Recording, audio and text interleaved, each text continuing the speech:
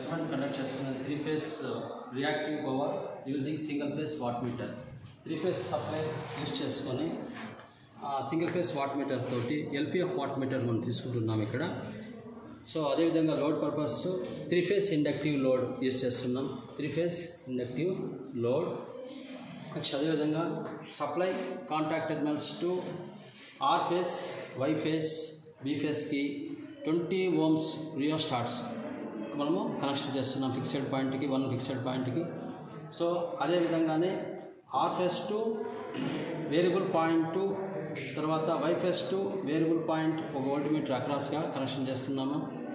అదేవిధంగా R phase to ammeter ammeter to watt meter current coil watt meter current coil and current coil and voltage కాయిల్స్కి load connection చేస్తున్నాం. Next step ఇక్కడ B phase to voltage point మనం touch అయ్యే విధంగా connection చేస్తున్నాము. Next R phase Y phase to M L to load inductive load ఏదైతే ఉందో అది వైఫైస్కి కనెక్షన్ చేసాము next one C point watt meter C point ఆర్ఫేస్కి connection చేస్తున్నాం ఇక్కడ. ఈ విధంగా సర్క్యూట్ డయాగ్రామ్స్లో మనము ఈ యొక్క రియాక్టివ్ పవర్ మెజర్ చేసేదాని కోసము ఈ టైప్లో మనం కనెక్షన్ చేయాల్సిన అవసరం ఉంది. నెక్స్ట్ ఇక్కడ సప్లై అనేది టీపీఎస్టీ స్విచ్ యూజ్ చేసి సప్లై ఇక్కడ మనము ప్రజెంట్ చేస్తున్నాము. సప్లై వచ్చిన తర్వాత నెక్స్ట్ ఏం చేస్తున్నామంటే ఇక్కడ ఇండక్టివ్ లోడ్ ఇండక్టివ్ లోడ్ను స్టెప్ బై స్టెప్ మనము అప్లై చేసి వాల్యూస్ మనం తీసుకోవాల్సిన అవసరం ఉంది. ఫస్ట్ నో లోడ్లో ఒక రీడింగ్ తీసుకోవాలి. నెక్స్ట్ స్టెప్ లోడ్ అప్లై చేస్తూ లోడ్ అప్లై చేస్తూ వాట్ మీటర్ని అమ్మీటర్ని అబ్జర్వ్ చేసి రీడింగ్స్ నోట్ చేయాలి. సో ఇది. ఓకే ఇప్పుడు మనం ఎక్స్పెంట్లోకి పోతున్నాము. Experiment first main switch three phase supply on చేయాలి. ఆన్ చేయాలి నెక్స్ట్ వన్ ఇట్ సైడ్ ఉన్నటువంటి టీపీఎస్టీ ఆన్లోకి తీసుకురావాలి ఆన్లోకి తీసుకొచ్చిన తర్వాత meters meters volt meter ammeter watt meter no లోడ్లో సబ్ రీడింగ్ చూపిస్తుంది అవి నోట్ చేసుకోవాలి ఫస్ట్ నో లోడ్లో.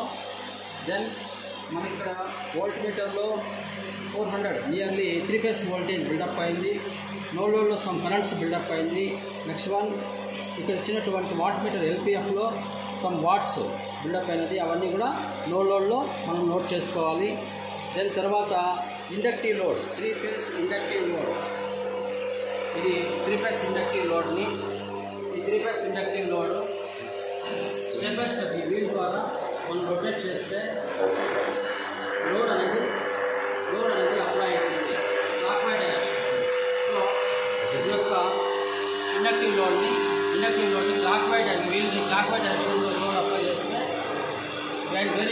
చేస్తే అప్లై అవుతుంది ఈ విధంగా అప్లై చేయాలి. Clock wide direction anti clock wide డైరెక్షన్లో రొటేషన్ చేస్తే లోడ్ అనేది రిలీజ్ కాబడుతుంది. సో ఇది మెథడ్ ఇండక్టివ్ లోడ్ చేసేటువంటి మెథడు కాబట్టి ఫస్ట్ మనం లోడ్ అప్లై చేయాలన్నప్పుడు క్లాక్ వైడ్ డైరెక్షన్లో లోడ్ అనేది అప్లై చేసి దెన్ మీటర్స్ యొక్క రీడింగ్స్ నోట్ చేయాలి. వోల్ట్ మీటర్ ఎంత వోల్టేజ్ వచ్చింది అమ్మీటర్ యాంప్స్ ఎంత వచ్చింది వాట్ మీటర్ ఎంత వాట్స్ వచ్చినది నోట్ చేస్తూ గ్రాడ్యువల్గా ఈ యొక్క ఇండక్టివ్ లోడ్లో మ్యాక్సిమం యాంప్స్ దీని నిర్దిష్టమైనటువంటి amps fifteen amps ten to fifteen amps ఉంటుంది. టెన్ టు ఫిఫ్టీన్ యాంప్స్ ఉంటుంది. కాబట్టి దీన్ని దృష్టిలో పెట్టుకోవాలి. ఇండక్టివ్ కరెంట్స్ ఎంత విత్ విద్యుత్ స్టాండ్ అవుతుంది. ఆ కరెంట్స్ ఆధారంగానే మనము లోడ్ అప్లై చేసి రియాక్టివ్ పవర్ని మనము దాని వచ్చినటువంటి రీడింగ్స్ను లోడ్ చేయాలి. ఇది మెథడ్ సో యాంటీ క్లాక్ వైజ్లో లోడ్ అనేది రిలీజ్ చేస్తాం అర్థమైనా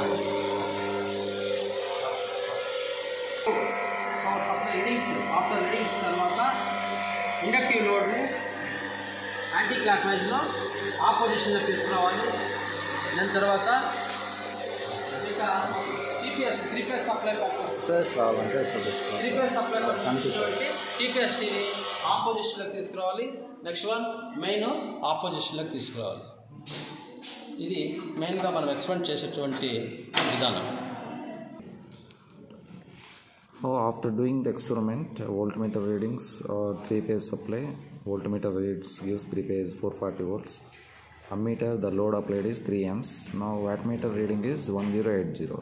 This wattmeter reading gives real power. Now from that phase angle phi we can calculate cos phi equal to W by root 3 VI. That gives 0.476472. From this phi we can calculate we can cos phi from cos phi we can calculate phi cos inverse of w by root 3 vi that gives 61.835 that is the phase angle. V and i phase angle is v and i phase angle is v and i phase angle is uh, 61.835 from this phi we can calculate sine phi. After that we can calculate reactive power. Reactive power VR is root 3 VI sine phi. Now if you divide this 1000 you will get kVAR. This is a calculation regarding reactive power measurement by using single wattmeter. The circuit diagram for that this is the circuit diagram.